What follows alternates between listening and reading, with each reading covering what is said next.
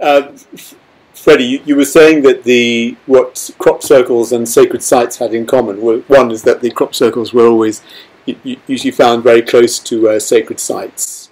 All the time. All the time. And could you explain or define really what a sacred site is? I, I, I, there are certain characteristics I know that you talk about that always, there's always water present and yeah, I mean there are um, six uh, features that, that, define a sacred site. It has to have the water. Even in the desert in the, the southwest United States, you have a Navajo site where there's water running between two sand dunes. Yeah. That's where their altar is. Um, uh, the, there's a massive amount of water running under the pyramids of Giza in the middle of the desert, uh, and that's there's a reason why it's there. Because that water is energized when it pours through a certain type of rock, usually limestone. It creates a natural electrical charge.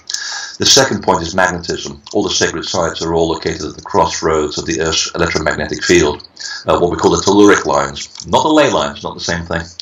Uh, and then you have the uh, a, a, type of measure which is used to create all the sacred sites in the world called the megalithic yard, and it's derived from the actual motions of the sun, the moon, uh, and also the um, extrapolation between the uh, um, the atom and the tetrahedron that binds atoms together. So it's highly technical. I don't know how they figured this out in the Neolithic era, but it's provable. Then you've got the geometry. Uh, each sacred site is hardwired with a certain geometry, even if it's invisible to the eye, it will be there. Uh, so you've got all of these elements and you stuck them together and you add your intent to this because every uh, site wasn't just built stacking a bunch of rocks on each other. You have to uh, go there and put your intent into it and you're entering a living being. And in fact, you go towards the east, the further into Polynesia that you go, the more the entrance resembles a mouth of a beast that's about to devour you. And it's a metaphor. It's about the fact that in order to accommodate yourself from profane space into a sacred space, you have to basically devour your physical self. You have to remove yourself from your physical body as much as you can technically speaking, because you're going to a rarefied world where you have to escape the body to understand the bigger picture. Because the bigger picture, there's much more in the invisible world than exists that is not material. So you have to forget about the physical world. So all of these things conspire to create a, an environment which cannot be measured, and it has been done by people like Princeton University, uh, going around the Egyptian temples with a specific device that measures the frequency of the temples, and it generates a frequency just by themselves when you take a person in there with the intent, the, the measurements go way off the scale. So there's an interaction between a site that's been specifically designed to get to have an out of body experience, and the crop circles do exactly the same thing. So you go in there with your with the right intent, with at the right moment. Uh, extraordinary things happen to you. Uh, I've seen people being changed, healed, uh, and these are skeptics. They go into a, a field of wheat, and uh, they're totally allergic to the stuff, and they'll walk right through the field. They're totally skeptical about crop circles, but they feel compelled to go there. And since then, these people have been healed of whatever afflict, uh, was afflicting them. Um, you can't tell that to skeptics. That doesn't happen to skeptics. They're already pre-programmed not to believe that, and yet it happens to them. So this is the magic of something that's uh, so it can happen even if you, in you don't have the intent. I mean, sometimes it can just catch you by surprise. I mean, just just by well, being almost you know, almost being in a kind of neutral state, I suppose. I think actually someone made a very good point about this because it seems to be uh, contradictory. Uh, you know, if you take the fact that if you don't have the right intent, nothing's going to happen, and I believe that is true. And yet we have these people who are, you know, uh, who believe solidly that all there is is a physical world. There's no fairies, there's no extraterrestrials, and there's no invisible world. This is all there is. So why would this happen to them? And I would wonder if there's at some point of a subconscious part of yourself that's actually agreed at some level yeah. to be used as a guinea pig to show other people, other skeptics, that it can even happen to you if you just allow yourself to believe in this. And, this, and I thought it was a very elegant theory. Absolutely, and that would be very convincing if people know that this person is a very kind of left left-brained, methodical sort of person, yet yeah. had this experience. Yeah, um, I mean, it's like BBC going into a, a, crop circle, and they're very cynical. Yeah. They're totally. This is how the information gets out about the hoaxing. Yeah. They've got their friends at the BBC and the Daily Mail, especially the Daily Mail, and um, they'll basically because uh, back in the days, the uh, quality media never believed that the crop circles were made by people. I mean, even the Independent said this years ago. They said, "I have more." Uh, easier time believing in little green men than I do in Doug and Dave making all the world's crop circles. This is an actual quote. And um, so when you have the BBC going into a crop circle, sniggering away, we're going to film these uh, so important, important people who are deluding themselves. The moment they cross the perimeter of the real crop circle, and we've made sure it was a real one where we're taken to, their wonderful twenty thousand pound camera suddenly went. Uh, have a very agonizing array of uh, warning lights, and it, it, failed to work. He said, "You better bring the other camera and keep it outside the circle." And you should see the expression on their faces. And then, and I I mean, I can't say anymore uh, because I'm obviously contradicting uh, a privacy agreement. But uh, the fact is that they would then write back to me in confidential uh, terms in email saying, "I think you're onto something." Hands up. yeah, right. yeah, yeah. Twenty thousand pounds. That's a, that's a pretty expensive demonstration. and could, could you and could you explain how the how the sacred sites? I mean, you know, they're all you know, having read the books and and and and heard you know some wonderful interviews that you've done, done with Regina at, uh, at Gaia and so on. Oh yes, yes. You, you, talk about you know the fact that the, the sacred sites are all connected. Yeah. Anyway, um, and is that through the water? Presumably, is that through the through the um, how how are they connected? Uh, several ways. Um, we've just discovered, thanks to NASA, that um, there was a wonderful story that goes back to 11,000 uh, BC at least in the Vedas of India. They talk about the fact that they talk about the sacred sites and the fact that they are related to the the serpents that slide along the ground, which are connected to the serpents in the sky, which are the arrows of sorcerers. Now, a sorcerer is someone who works with the source. In other words, natural forces, and you have control over the natural laws, and you can bend them. And I thought, I wonder if what they mean is the fact that they're, they're talking about the Earth's telluric currents that are somehow related to telluric currents that exist outside of the Earth's atmosphere. And would you believe that back in 2009, NASA actually proved this? And they talked about the fact that every uh, 8 minutes or 11 minutes, uh, magnetic portals open between the surface of the Earth and the Sun, and God knows where else because they've just been discovered going from the Sun to Saturn as well. So that's one of the ways that they they, they relate. These sacred places are connected with these what they call the reeds of heaven. uh, when you get the old stories, they, yep. uh, these reeds that connect to another level of reality. Now we know what they're talking about. They're connected terrestrially by the fact they're all sitting on the Earth's electromagnetic grid. So, like you and I have arteries and blood vessels, and we have puncture points where you know, for example, in Chinese medicine, they know where to hit the exact node yeah. to get problems to move. Yeah. The Earth has the exactly the meridians and the meridians. Yeah. The Earth has exactly the same uh, process because we are a mirror uh, image of the Earth. Uh, we have the same geometry in our DNA as the Earth has its own geometry as well. Um, so they're connected terrestrially along these invisible lines of force. Uh, and also the water, uh, because uh, the water is part of the concept. Because once you actually begin to interact with the temples and you leave a part of your fingerprint behind, and it should be a good fingerprint, by the way, you should always put a good thought into these things. Kind of like going to a holy well, you drink the water and you feel better, and a lot of these heal, like in Cornwall, there's so many healing wells. Uh, doctors in London used to send them only 100 uh, years ago, sending people from London all the way to Cornwall to get better. So obviously it worked. In a way, you're drinking the memory and the prayers of people that have gone before you. And that memory goes into the water, it goes into the aquifer, and it, it recharges all the wells and the earth itself. That's why the old people had a connection with the earth, and they want to maintain that connection. Because if you maintain the spirit of the earth in balance, then we are in balance with it. Again, New Age concept, but very true. We can now prove this like Masaru Emoto in Japan. He proved that you take two vials of the same water, you have one person writing on it with strong intent, I'm going to kill you, and the other one is, I love you, and you put the two crystalline structures side by side. The two crystal patterns are totally different. One's totally chaotic, the other one is totally organic. So again, the power of intent mixed in with the water, mixed with the electromagnetism, you've got that connection. So it's actually very simple when you think about it. It takes 25 years to understand. And does that tie in at all with kind of Rupert Sheldrake's morphic fields, morphic resonance. Absolutely. Is that, that, Absolutely. that comes into the equation as well? Absolutely. We're part of this big organism. And uh, in fact, I was having this conversation the other day with uh, a radio station about the fact that uh, if we connect uh, and find our purpose not just within ourselves, because any Indian will say, well, you don't need sacred spaces to find yourself and connect to the bigger picture, to the morphic field. You are the temple. I mean, even Jesus Christ said this the temple of God resides within you. He wasn't joking, he was an honorary Buddhist. Well, and I was going to say, uh, when the Buddhists say that if you see the Buddhist walking down the street, basically kill him. Because actually, it's actually the, the point being is that the, the Buddha is in with you exactly. We, we, are the temple. We have the same magnetic structure. We have all the water we need. We have the intent. We have the geometry. We are already are the temple. You don't need that stuff. But if you don't, you go to a temple. Um, and basically, if you are able to connect and find a way to connect with the bigger picture, there are so many people like us who are also connecting with the bigger picture, and that creates a change. Yeah. And there's more people doing this around the world than we're actually given credit for because, you know, good news doesn't make the headlines. You really hear about this stuff. And I mean, I go to, uh, I mean, I live in America now. Um, it, there are conservative pockets, of course. Uh, one is in Ohio, but would you believe one of my biggest uh, sections of my mailing list is in Ohio.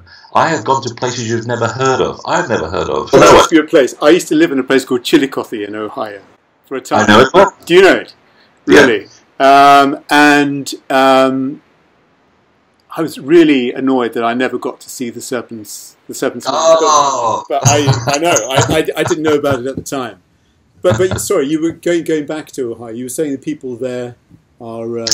Oh, I found uh, packed rooms, and I'm talking about a couple of hundred people suddenly packed into a room that came out of the woodwork uh, to learn about this stuff. So for me, it's actually quite uh, enchanting to find that we're actually the, the majority, not the minority. There's more people trying to think of a better world, a better way to create a society, and we're having that resonant effect. It's, it's when you pay too much attention to what's happening in the media, and it's not the media's fault. I mean, they have to make money, they have to, you know, sensationalize things, but um, and inevitably it's the uh, the weird things to get on the front page. So are um, we all are we all like? Sorry, Freddy. That, I just thought of something. That are we all in a sense like the, the Hopi or the Lakota would believe? We're all basically crying for a vision, aren't we? We're all we all want we want to partake in in something yeah. that some of us don't know quite how to go about it. And it's, t- it's, you know it requires a lot of courage to open yourself up and take that first step to visit a you know to take to undertake this journey. I mean, you would know more than, than anybody, and and but it's it's really interesting to hear that you can go to a back pocket in Ohio and, and find yeah. people who obviously surprised you to an extent that a lot of people actually are resonating to, to this message. Oh, absolutely, absolutely, and it shows that you know that more people like us uh, who are coming up with the same vision, and uh, we're able to actually have a change. In fact, I'm actually quite confident that we're having so much chaos right now in the world because it shows that we're actually having an effect. Because it shows that the old order is afraid. They're afraid they're going to lose their livelihoods, their, their power base. This is why there's so much reaction going on now from the ultra right. We're seeing an effect, cause and effect, caused by more people shining the light on things, and it creates a knee jerk reaction. And we're going to have to go through this. That's how physics works, by the way.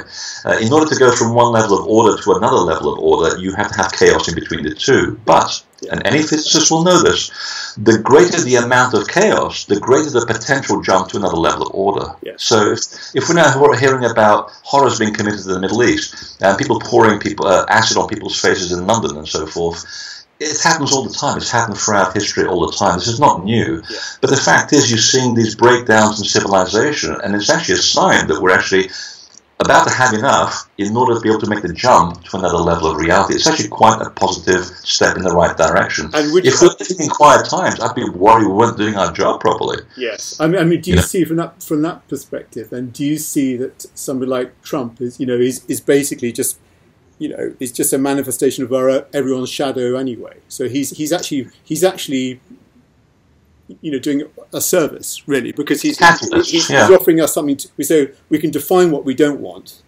Yeah. and you know what I mean? And it gives us permission almost to look for alternatives to we, we you know we define ourselves by what we don't want to be in a way. And that exactly. and that's how humans usually are unfortunately. I mean yeah. things I mean um, humans change in glacial terms. I mean it takes I mean, it's like you and I saying, um, okay, the council comes around and they're going to force you out of your house because they have to knock down your house because they're going to build a road. Yeah. I mean, you hold to that reality with tenaciousness. You want to protect your turf. You don't want things to change. We like our, our constants. Yeah. Uh, so, in order to get humans to move to another level of reality, it takes a long time to, to happen. And sometimes you need to shock people into doing things. Um, sometimes you have to have, you know, 30,000 people. I'm not, I'm not talking about a bigger picture here. Um, and removing your emotion from, from the event, which is very difficult. Um, 35,000 people suddenly die in a tidal wave in Indonesia. It's horrible. There's loss of life. Now, if you could just step back a little bit and see the big, big, big picture, what happened? Um, if you accept the fact that we come here with a purpose, and some of us come here to be leaders, some come here to be victims, some come here to show others how not to do things, then you accept that 35,000 people at some level would have given up their life to show others something bigger. And the bigger thing that happened was all these governments promoted the idea that we're going to give Indonesia billions in, uh, of money in aid. Not one of that penny ever reached the islands. The money that got to the Indonesia was from donations from people like you and me. It brought the whole world together and suddenly realized and showed all of us we're actually much more connected as a family than we would have accepted if that hadn't happened. But it, sometimes it, it, takes something so shocking to happen to judge people out of their uh, complacency and recognize that we're actually much more connected. So someone like Trump, um, he's actually shining a light on those people who are holding on to some really negative stuff. I mean, I'm surrounded by this every single day here. You have to kind of just, you know, have a good pint and continue. Uh, but you know what? In about three months from now, I can almost put money on the fact that the people who've been supporting him have realized they've been duped, and they're very angry people, and it's going to create a big backlash. Yeah. It's going to get really ugly, and that will help wake people up to the fact that, wait a minute, there, there were these people over here that were telling us another way of doing things, which is actually, now that we see what's happened here, is much better. And they'll probably gravitate towards that center. So sometimes that has to happen in order to get people to move forward. It's just the way things are historically with the human race.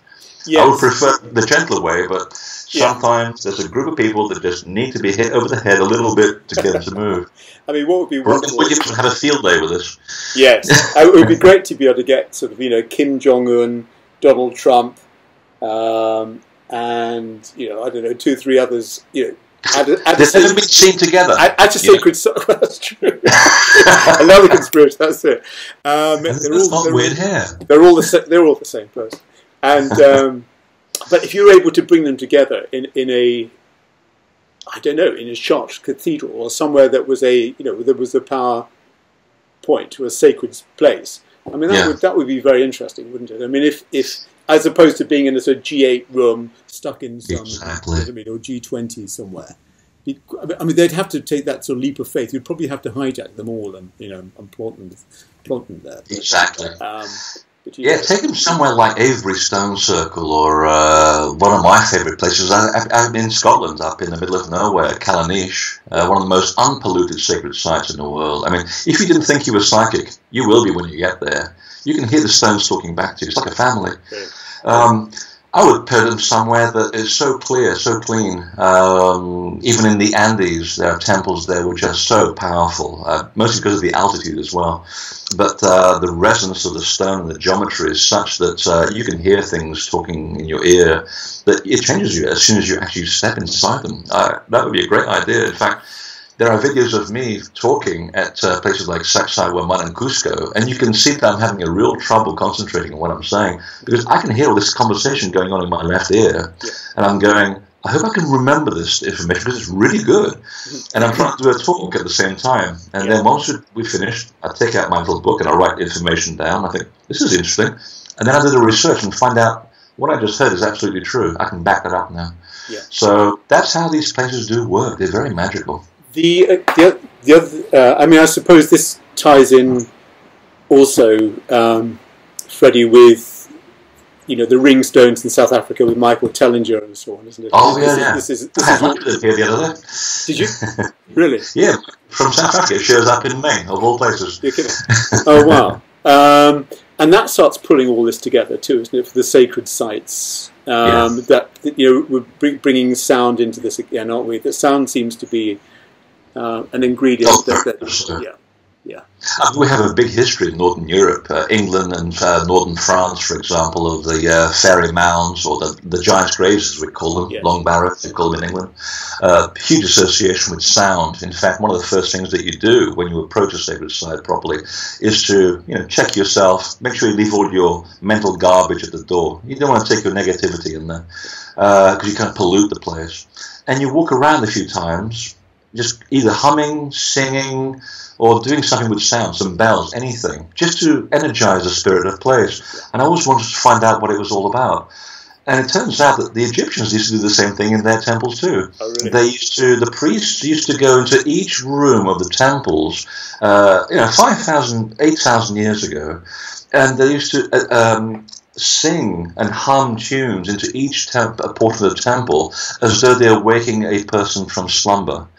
It turns out, now that we have the mechanism which to measure this uh, mumbo jumbo with, is that actually, just before sunrise, the uh, frequency of electromagnetism coming out of the sun on the horizon, it's at its highest. It's also the same moment when plants are also at their most receptive state. Right. And knowing now what we know about the organic nature of the temples, it's actually the frequency of the temples is at a point, excuse me, just just before the sun crosses the perimeter of the horizon, which is actually a, a hieroglyph in Egypt. That's when the uh, local electromagnetic field suddenly gets drawn to the entrance of the sites and it whirls around them.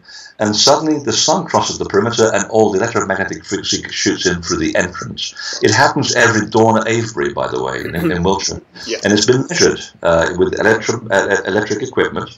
Uh, the energy goes in sometimes twice the level of the local frequency. So you're standing there and you're getting this woof of energy behind you, and the site literally awakens from a slumber. So the Egyptians were correct. I mean, you put in your energy and your and your voice. Yeah. You're giving it an intent, uh, and you basically uh, ally with the energy of place, which is by its design and its geometry, it too is designed certain sonic frequencies. So Chartres Cathedral is a great example. The walls, the relationship of the pillars is done just so to create certain mathematical formulae, Yeah. which generate musical notation and um, to create a certain effect in the viewer. And um, people have found, I think it was the Russians who did this years ago. They put people in the Gothic cathedrals when they were very quiet, and they measured their brainwave frequencies, and they said, uh, let's put some Gregorian music in the building, because that was the kind of pop music that was used back then, specifically for the, for the buildings. And uh, they found that when you put Gregorian chant into the Gothic cathedrals, and you put a person upright in the nave, your brainwaves go 4,000% above normal waking state. That's a, what's called a hallucinatory experience, or if you want to put it in religious terms, connecting with the mind of God. Uh, so these people knew exactly what they, they were doing. So, uh, um, so if we were to try and create sort of world peace in one evening, you'd bring together some of these world leaders, put them in Chartres Cathedral, and have that wonderful Ravi Shankar story that that uh, that you've, you talked about before. I mean, just just that the same thing, isn't it? It's the same principle, I suppose. Isn't it? It's sacred music, sacred tones, sacred sounds, Exactly. and, and and has the same effect as you were talking about with. Um, And what's the first phrase that happens in every single religious text around the world? In the beginning, there was the Word, and the Word created the universe. In fact, the Egyptians actually never differentiated sound from light. They said in their version of the Bible, which precedes the Bible by thousands of years, in the beginning, Ra emitted a cry of light. And you, and I always wondered about that. Well, how would he emit a cry of light? Unless the two are simultaneous. Well, of course they are. That's our perception because we are limited beings in physical. We separate light and sound. Well, in a laboratory in Princeton, they said actually that's not quite true. If you take audible sound and you put it into a certain tube and you ramp it exactly 40 octaves above the human hearing range, that sound generates something called sonoluminescence. They actually get a flash of light. So the Egyptians were right. Creation is based on the simultaneous effect of sound and light. The two are not uh, separate. yeah, That's pretty cool. it's no, it's it's just amazing, isn't it? Um, one question I had from a friend of mine. She she wanted to know because uh, I put out the word that I was going to be interviewing you. Is it possible to create your own sort of sacred space? Oh, I, God, said, yeah. I, I, said, I know for a fact that Freddy knows all about that because that's part of the work that you do. But but it is, I mean, and quite quite Yeah. easily, quite you know, in, in Very easily. Yeah, it, I actually asked the same question years ago, and uh, after going to so many of the sites and sitting there quietly and letting talking back to you, uh, it's amazing how much you can pick up. And I thought, what if you can't get to the site? What if? Can you bring the temple to you? And again, by this wonderful magic, the information starts coming back at me and saying, "Look at the basics. Look at the basics. I mean, the basics. The big, oh, well, how temples are built." And so I finally figured out that every temple is based on seven laws, and I hardwired them into excuse me, uh, a full day workshop where I actually teach people uh, to create their own temple within I their own saw, I saw that. Yes, yeah. It's the uh, Uh, one day temple workshop. Yeah, Yeah, Tem- uh, Temple Building is a DVD that's actually based on the workshop. If people can't make the workshop and they can't afford it, so all the materials in there, you can watch two DVDs and go, oh, that's easy. Uh, of course, it takes you 30 years to figure out how easy it is, but once you do it, it's like, oh, actually, it's really simple when you think about it. So right now, where I'm phoning from, I am sitting in the middle of downtown Portland, um, in the middle of a city. I have two energy lines running through the building. There's a masculine one here, feminine one behind me, and I'm sitting in the middle of a temple. And you can't tell because the stones are so carefully hidden. Uh, you don't need big stones unless you're a Virgo or an Aries. You have to show yourself to be, you know, look at how big my stones are.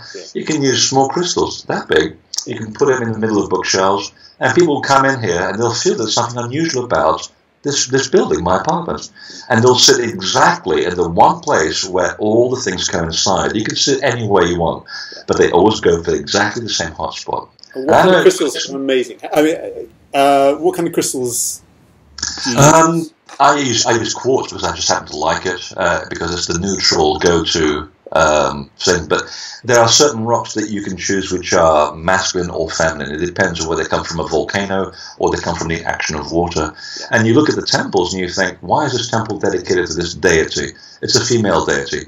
Now that's funny. They use exactly the same type of stones in the same temples dedicated to the same feminine principle. Oh, of course, that makes sense. Uh, stones which are born from the action of water. Water is flowing, it's fluid, it succumbs to the actions of the moon. The moon is considered feminine. Oh, okay, that's why they use feminine stones in feminine temples. But you go to a masculine site and you go, and it feels very different. It's like Wales, full of masculine sites. They're very rigid. Yeah. You know, it's like, oh, they use volcanic stone. Of course, volcanic is the action that's based on the metaphor of the sun. It's volcanic. Right. It's bl- it blasts out energy like a masculine energy is. It comes in your face. Yeah. So you want that to bear in your actual temple. And if you want both of them, if you want a balanced site, like a lot of Gothic cathedrals are balanced, you have the pillars, like Salisbury has granite pillars, but then you've also got sandstone and limestone. And the two together create a balanced environment. Pyramid in Egypt, same thing. Yeah. Granite on the inside, limestone on the outside.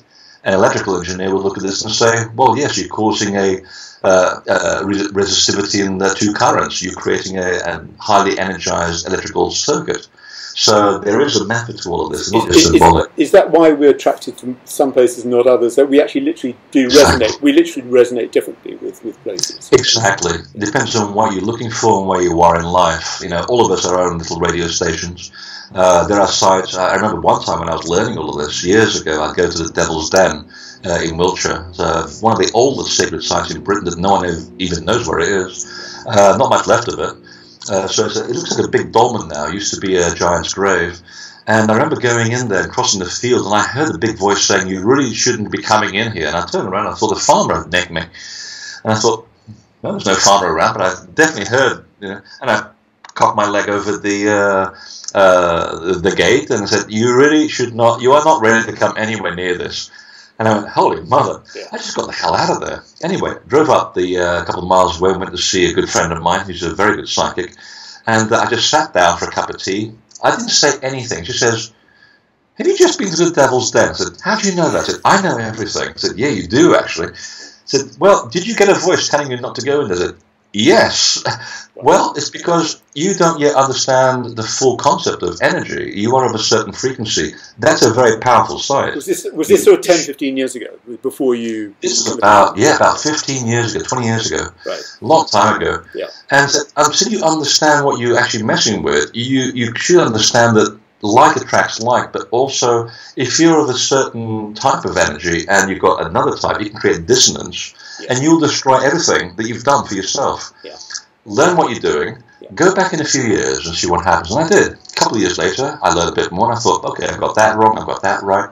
Now I can appreciate this site for what it is. And I went there with the right uh, uh, attitude, and it was like this carpet, this red carpet just went out and said, ah, welcome. And you feel it, it's like a door that opens. And you go, well, that's a bit different. And you've learned, you've now realized. Another you're on a initiation, another rite of Yeah. passage. you know. And then you think you know it all, and then something else happens that shows you you don't know it all yet. And it, it's constant. I mean, I've been doing this for so long now, and I think I know so much, and yet I know so little. Uh, every time I sit down to write something new, it's like, I thought I knew it all, and I still don't know enough. do you have? it's Do you an- have